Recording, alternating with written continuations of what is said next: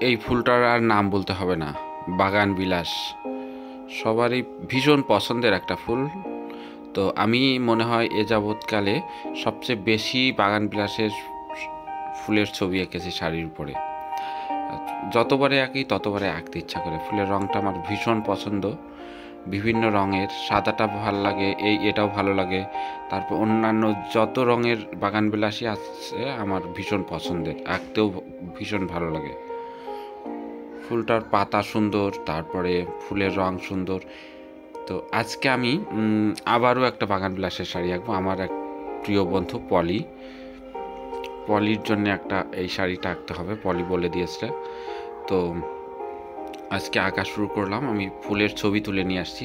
এই যে, এইখানে যেরকম যেরকম দেখতে পাচ্ছেন আমি হুবহু আঁকার চেষ্টা করব। এখানে ডার্ক লাইট তারপরে এর ভিতরে যে পার্সপেক্টিভ আছে, পুরোটাই আঁকবো আজকে। পাতা, তারপরে কীভাবে মরা পাতা আঁকতে হয়, দেখেন তাহলে। প্রথমে পাতা দিয়ে শুরু করব। খুব যত্ন করে করে শাড়িটা আঁকলাম আজকে। প্রথম থেকে দেখতে থাকুন, শেষ পর্যন্ত দেখেন, তাহলে বুঝতে পারবেন। আর আপনারা যদি বাগান বিলাসের কোনো শাড়ি আঁকতে চান, তাহলে প্রথম থেকে দেখতে থাকেন কীভাবে এঁকেছি ডিটেল করে এঁকেছি, তাহলে আপনারা সহজে আঁকতে পারবেন। সবুজ রং কীভাবে বানায় সেটা এর আগের অনেকগুলো ভিডিওতে আপনাদের বলে দিয়েছে, আজকে ততটা বলব না। আজকে শুধু দেখাবো কীভাবে খুব নিখুঁত করে বাগান বিলাসের ছবি, শাড়ির উপর আঁকতে হয় সেটা দেখাবো। পাতার এর আগে বললাম লাইট ডার্ক দেখাবো কালার পার্সপেক্টিভ সেটা দেখাবো।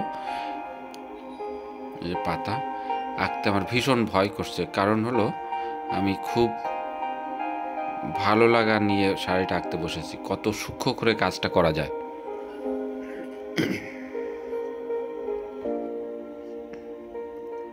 এই পাতার উপরে ডার্কের থেকে লাইট আসছে। এই যে পাতার উপরের অংশ এবং নিচের অংশ একটু ডার করব। একটা পাতা আঁকতেই দেখেন কত সময় লাগে। তাহলে পুরো শাড়িটা আঁকতে কত সময় লাগবে? যাদের কাছে শাড়িটা আছে, আমার রেণুবালা শাড়ি আছে, তাদের প্রত্যেকের দেখা উচিত শাড়িটা আঁকতে কত পরিশ্রম হয়।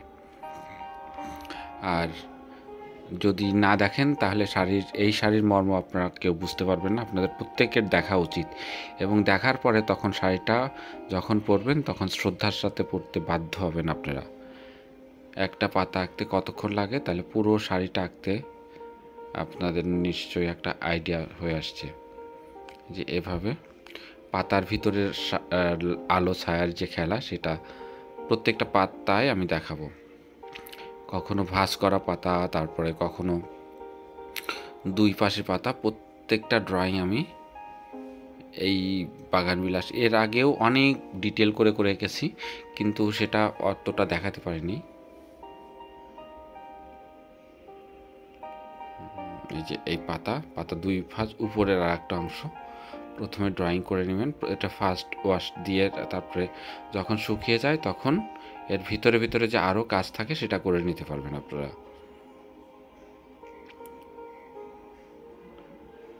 জাস্ট একটা সাদা রঙের শাড়ি আর রং নিয়ে আসেন আর আপনারা নিজের শাড়ি নিজে করে নিতে পারবেন তাহলে। দেখেন, পাতাটা এঁকে ফেলেছি।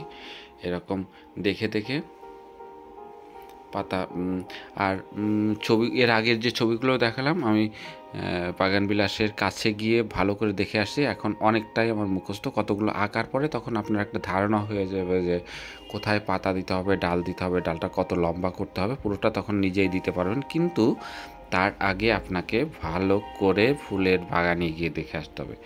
মেমোরির থেকে আঁকা যেমন সহজ, তেমনি কঠিন। কারণ আপনি যদি আন্দাজে দিতে থাকেন, তাহলে সেটা বাগান বিলাস হবে না, অন্য ফুল হয়ে যাবে। কম্পোজিশন হবে না, ফুলের রং মিলবে না। তো ফুলের ছবি আঁকতে হলে আপনার ফুলের কাছে গিয়ে ভালো করে দেখে আসতে হবে। তো এই যে এরকম বিভিন্ন রকমের পাতার ড্রয়িংগুলো করে করে নিচ্ছি। তারপরে যখন এই পাতাগুলো শুকিয়ে যায়, তখন ফুলের ডালগুলো এঁকে দেবো।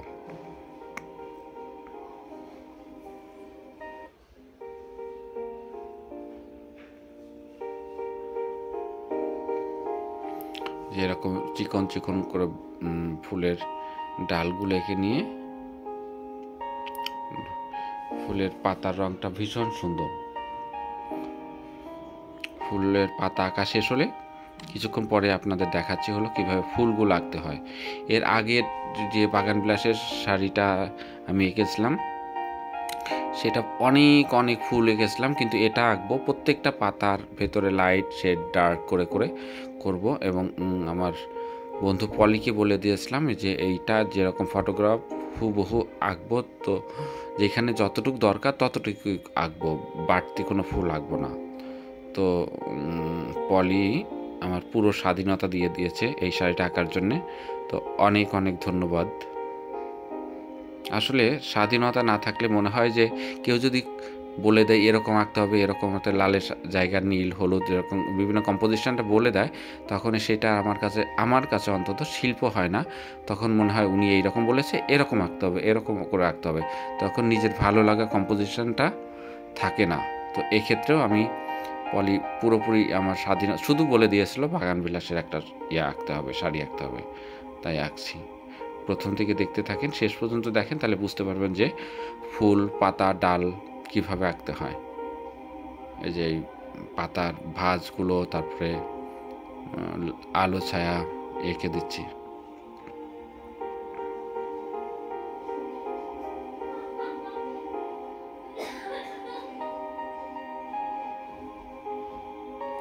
এই যে আর একটা পাতা আঁকলাম। দেখেন, নিচের পাতাটা একটু লাইট উপরের পাতাটা ডার্ক এই যে এখন শুধু পাতাগুলোই আঁকছি, তারপরে পাতার ফুলের পরে একটা ফুল আঁকা শুরু করব। এই যে এরকম করে, এই যে নরম করার জন্য ব্রাশটা একটু চাপ দিয়ে ধরে রাখবেন, তাহলে দেখবেন যে কোথাও ডার্ক লাইট এমনিতে অটোমেটিকলি হয়ে যাবে। তারপরে শুকানোর পরে আপনি ওর ভেতরে যে ড্রয়িংগুলো থাকে সেগুলো আস্তে আস্তে করে নিতে পারবেন। আপনাদের সেটা পরে দেখাচ্ছি। আর এই যে ফুলের পাপড়ি এরকম করে রাখবেন দেখবেন ফুলের যে নমনীয়তা সেটা অটোমেটিকলি চলে আসবে। এই যে এভাবে ফুলের পাপড়িগুলো আঁকতে হয়। আমি বললাম যে এই শাড়িটা আঁকার আগে আমি প্রায় এক ঘণ্টা ফুলের বাগানের ভেতরে ছিলাম। এটা আমি যেখানে কাজ করি, আমার অফিসের পাঁচতলার উপরে অনেকগুলো বাগান বিলাসের গাছ আছে, আমি সেইখান থেকে ছবি তুলে নিয়ে আসছি আর ভালো করে দেখে আসছি।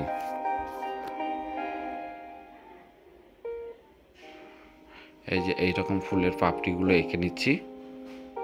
আর উপরে লাইটটা আনার জন্য একটু হোয়াইট মিক্সড করেছি।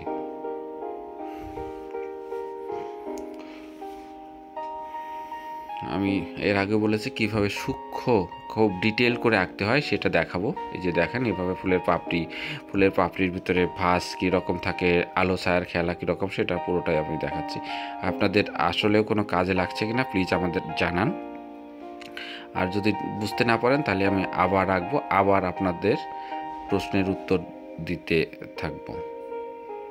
তো এই ফুলের পাপড়ি, একটা বাগান বিলাসে আসলে দুইটা পাপড়ি একসাথে জড়ানো থাকে, একসাথে লাগানো থাকে, মাঝখানে আর একটা ছোট্ট ফুল থাকে, ফুলের উপর আর একটা একেবারে সাদা একটা ফুল থাকে।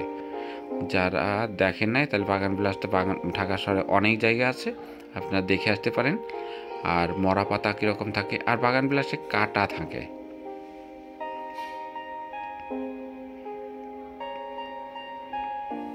এই যে এরকম করে আঁকছি।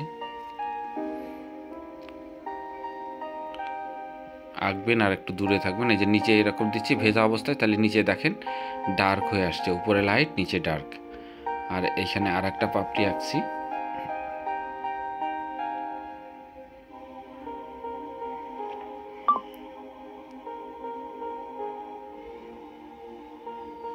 এই ফুলের পাপড়ি, আমাদের একটা ফুল আঁকা শেষ।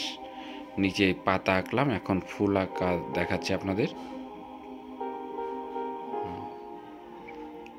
বললাম না, খুব ভয়ে ভয়ে খুব যত্নের সাথে শাড়িটা আঁকছি। প্রত্যেকটা শাড়ি আসলে যত্ন করেই আঁকি আমি।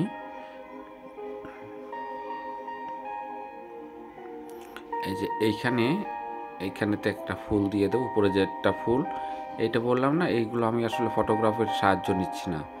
আমার মুখস্থ আছে কীভাবে ফুল আঁকতে হবে, পাতা আঁকতে হবে, ডাল কোথায় আঁকতে হবে, কত দূর ডার্ক করতে হবে লাইট করতে হবে, পুরোটা এখন করছি আমি। এই এই ফুলের ভিতরে বিভিন্ন রকমের ড্রয়িং থাকে যে সেটা করার চেষ্টা করছি। চিকন ব্রাশ দিয়ে ভেজা অবস্থাতে করে ফেলবেন, দেখবেন খুব রিয়েলিস্টিক হবে। দেখতে একেবারে বাস্তব ফটোগ্রাফির মতো লাগবে আপনাদের। এরকম করে দিয়ে দিয়ে রাখবেন।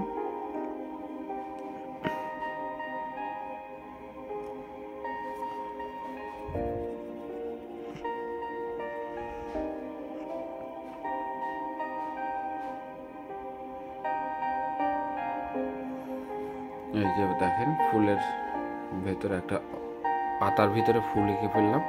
আর যে ফুলটা পড়ে গেছে, সেই ডালটা মরে যায় আসলে। সেই মরা ডাল দিয়ে দিচ্ছি। এই যে মরা মরা ডাল দিয়ে দিচ্ছি।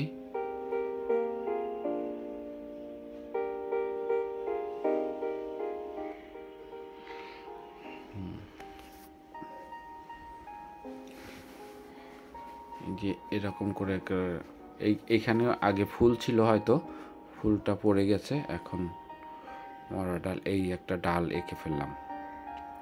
এখন পরের আর একটা ডাল আঁকবো কীভাবে? দূরে গিয়ে সেই আবার পাতা, পাতার পরে ফুল, তারপরে ওইটার সাথে একটা কানেকশান তৈরি করবেন। আর দূরে যাবেন, দেখেন তাহলে ওই ড্রয়িংটা ঠিকঠাক আছে কিনা বুঝতে পারবেন।